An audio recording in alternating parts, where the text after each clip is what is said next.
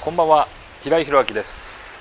花柄どうですか、ね、今回もまるすると当たらなくなっちゃいますよシリーズ。第2弾やりたいと思います。今回はですねスイング中にまるまるすると当たらなくなります。そのまるまるとは肘感覚を狭くすると当たらなくなるんです。これはね10人生徒さんが来たら7人は狭いかな。これね同じグリップの力で今持ちます。じゃちょっと徹君さこれでさヘッドを左右に動かしてもらっていい？うん。全然動くでしょ。これ動かしてみてみる。さっきよりちょっと硬いでしょ。そう。それぐらいクラブのルーズさが違うクラブをちゃんと遅らせるなら遅らせる貯めるなら貯める戻すなら戻すで自分のいてほしい場所にいさせることができるのはちゃんとクラブをコントロールしなきゃダメじゃない？位置をそれができるのは肘感覚が狭かったらできないのよ広くないとちゃんとここでバッバッてバッバッてどこにでもこうやってちゃんとそこにそこにいてっていうところにいさせられない。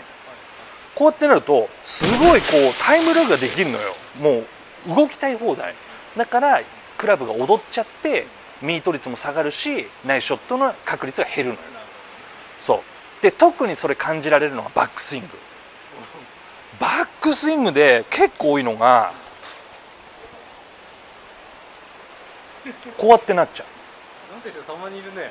ういるでしょ？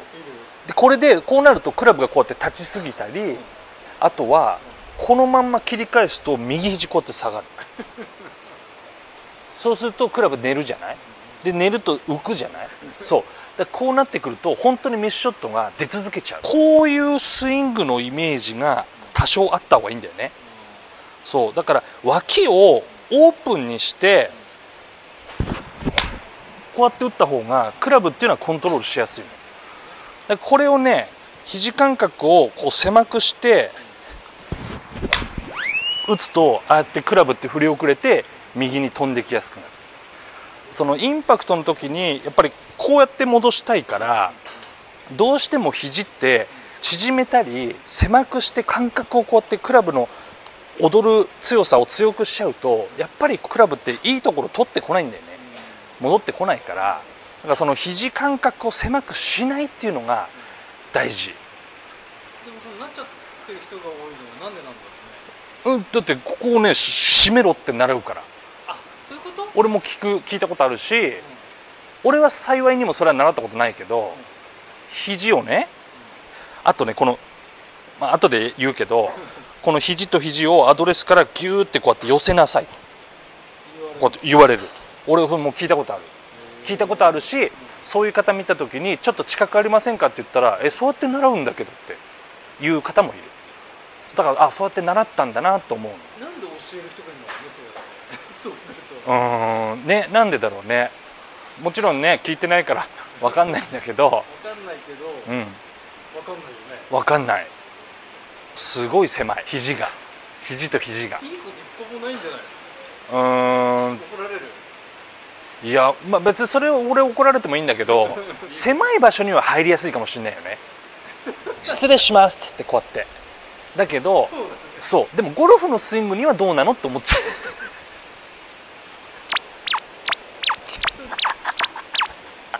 絶対に怒られる。怒られる。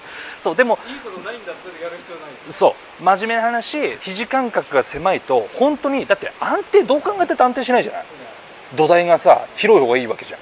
だから土台はこうやって広くなっててこうやってアドレスした方が絶対安定するのよ。クラブは。だからそれに自分の動きを加えなきゃいけないからもっと不安定になるはずなの。そうだから狭くしてたらクラブは踊る。だからこういう方におすすめするのはトップでクラブが自分の向きにならなかったり思った向きにならなかったりなんかスイング中こうクラブがこうやって揺れる。とかそういう方にめちゃくちゃおすすめ。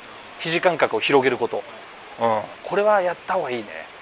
逆にじゃあ 極端に、うん。あもう広げろって言われたから、うん。広げたっていうふうにやるとどうなっちゃうの？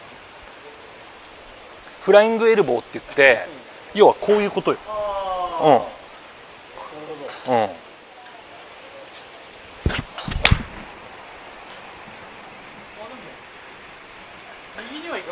右には全然行かない。全然行かない。だってだってっていう言い方おかしいけど そう。こうやってやってクラブをこうやって後ろにこう寝かせてっていうか遅らせてないからこうやってやってるからクラブは常にこうやって戻ってくるから。そうそうそうそうそう。そうだからこれなんかアプローチとかハーフスイングぐらい。こうやって。こうやってフィニッシュもこうやって曲がってんだよ肘が。こういうふうにこうやってなってない。そう。この感覚で今みたいに打ったらもう全然そのクラブが自分のその操作内でできるから優しいんだよね、うん、あんまりくっつけることは俺はおすすめしない、うん、だって楽だもんこれ、うん、めっちゃくちゃ楽。でさっき言いかけたネタ ネタっていうかポイントなんだけどこの肘の内側あるでしょ。この内側が両方真上向いてる方いるの。これはねアウト寸前。よくない。俺はイメージは向き合うイメージなのよ。ギリギリこれぐらい？だけど完全に向き合うのはよくないけどこれぐらいのイメージ。角度的にはこれぐらい。一番マックス上向いてたとしても45度ぐらい。これぐらいの角度で肘の内側が向くぐらいがやっぱりそれ以上上向くともうそれこそこうやって使ってるのと一緒だからもう寝放題よね。そう遅れ放題になるからそれも良くない。まあまあマックス45度ぐらいに向きを調整してもらってやった方がいいね。うん。肘が上向くのと肘感覚が狭くなるのはおすすめしない。うん。難しくなっちゃう。やることが増えるからね。うん。それだったら本当に五角形をイメージしてこういう感じ？こういう感じでこうやって打った方が球は曲がらないから曲がりづらい。あんまりピンって張ってこうやってやるっていう意識はない方がいいよね。この感覚をキープしてこうやって打ってあげた方がこう球っていうのは、まあ、コントロールしやすいよね、うん。それちょっとやってもらいたいポイントだな。うん。で今回はですね「まるすると当たらなくなりますよ」シリーズ第2弾のですね肘感覚を狭くすると当たらなくなっちゃいますっていうネタをやっていきました。気に入っていただけたらチャンネル登録とグッドボタンの方よろしくお願いいたします。最後までご視聴ありがとうございました。